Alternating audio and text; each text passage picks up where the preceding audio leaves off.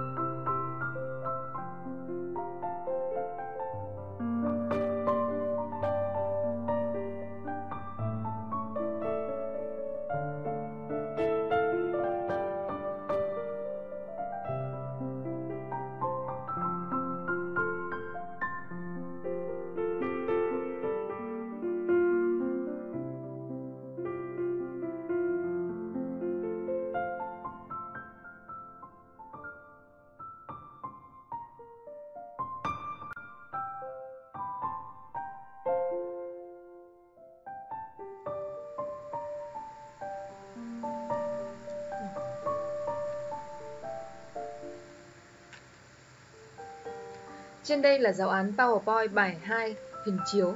Những bài còn lại trong chương trình môn công nghệ lớp 8 đều được soạn chi tiết và đầy đủ theo mẫu như trên. Với tiêu chí hiện đại và đẹp mắt, nhất định giáo án sẽ tạo được sự hứng thú học tập cho học sinh. Để soạn được giáo án PowerPoint này, nhóm giáo viên phải mất khá nhiều thời gian và công sức. Do vậy, giáo án có mất phí. Ngoài ra, chúng tôi có đầy đủ giáo án PowerPoint các môn của những lớp 7, 8 và 9. Nếu quý thầy cô quan tâm, vui lòng liên hệ theo thông tin dưới đây.